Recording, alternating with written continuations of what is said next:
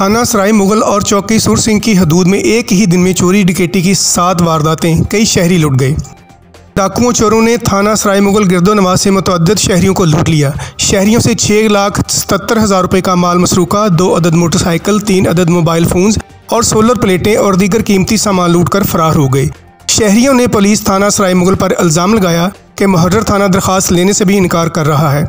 चौकी सुर सिंह और थाना सराय मुगल की हदूद में बढ़ती हुई वारदातों से इलाका में खौफ हरास फैल गया है। अहले इलाका ने डी पी ओ कसूर से फौरी तौर पर नोटिस का मुतालबा किया है।